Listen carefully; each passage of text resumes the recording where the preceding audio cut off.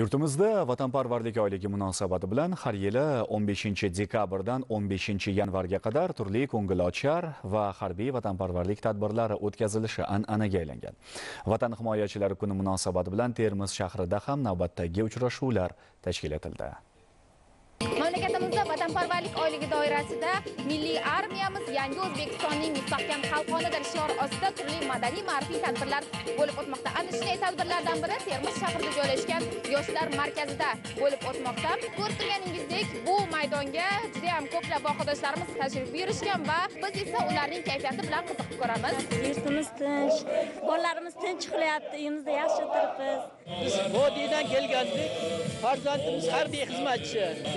Nabiralarimiz ham harbiy xizmatchi qilmoqchimiz.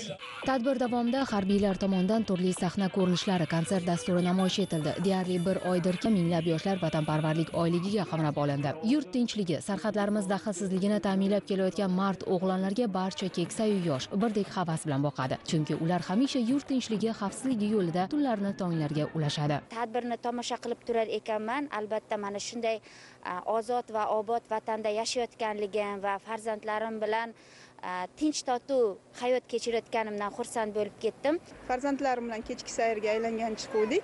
Ko'rib shunaqangi zavqlandik shunaqangi xursand bo'ldik. Shu yurtimizni tinchligi shu insonlarni qo'lidaligidan faxrlandik. Kelajakda uchta farzandimga ham xudo xohlasa harbiy bo'lishini judayam xohlayman. Harbiy libos kiyishini xohlayman.